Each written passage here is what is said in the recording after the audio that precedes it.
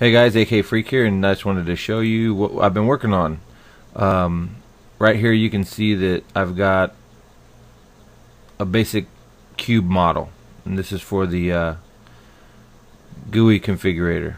thenickdude has uh, helped me out quite a bit actually with the export settings. Uh, I'll just go over them real quick so if anyone ever has to deal with this, they'll know. Okay, first of all, you're going to be using something called three dot three underscore JS. All right. So when you uh, come over here to export, okay, these are all my test files. You want to have these selected: vertices, faces, normals, materials, face materials, and embed geometry.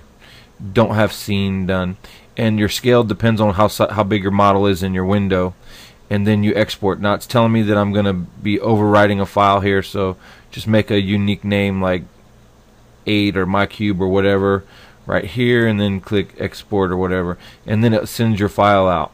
Another thing you have to consider is, um, let me go back in here real quick. Uh, let's cancel here.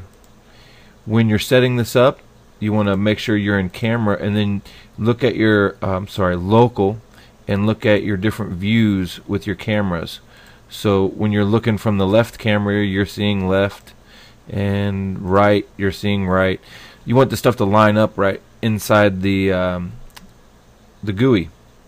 All right, so we saved our model, and we went into the code, and we um, launched it. So we're going to pull up the configurator. Now this is a dev one. Let's click connect and there we have our cube. Now, top is top, and left is left, and right is right, and front is front, and bottom is bottom, and everything lines up just slick, just like it's supposed to. Well, so that's it. Thanks for watching.